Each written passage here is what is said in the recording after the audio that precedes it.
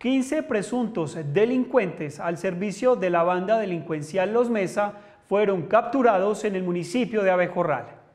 El miércoles 24 de febrero, autoridades realizaron 15 diligencias de registro y allanamiento en el municipio de Abejorral, donde se logró la captura por orden judicial de 11 personas y de 4 más en flagancia por los delitos de concierto para delinquir y tráfico, fabricación o porte de estupefacientes.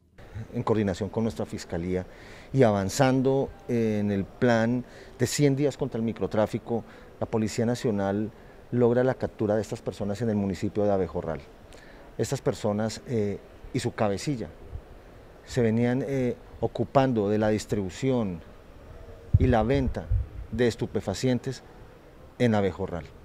Aquí eh, estamos propinando un golpe contundente a esta estructura delincuencial que afecta no solamente a los niños, niñas y adolescentes, sino también a nuestra comunidad en general.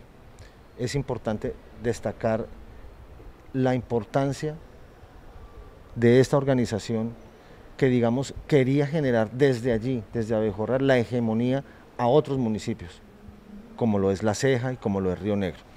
Aquí lo que hemos evitado es la confrontación de estos mismos con otras organizaciones criminales. Aquí lo que hemos evitado es que se siga comercializando.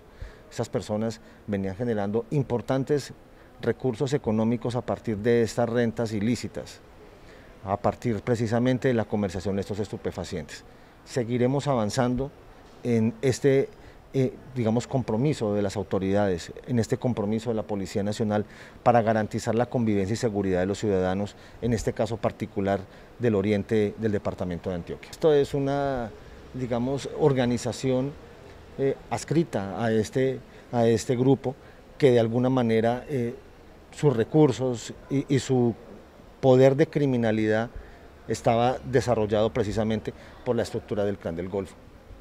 Entre los capturados se encuentran dos hombres denominados con el alias de los prohibidos, quienes se desempeñaban como coordinadores del tráfico de estupefacientes en Abejorral, al igual que alias El Negro, quien era el coordinador de la plaza de vicio de la zona rural. En el operativo se incautaron un arma de fuego, dos pistolas traumáticas, 17 cartuchos, 150 dosis de marihuana, 300 dosis de bazuco, 80 dosis de perico y 8 celulares.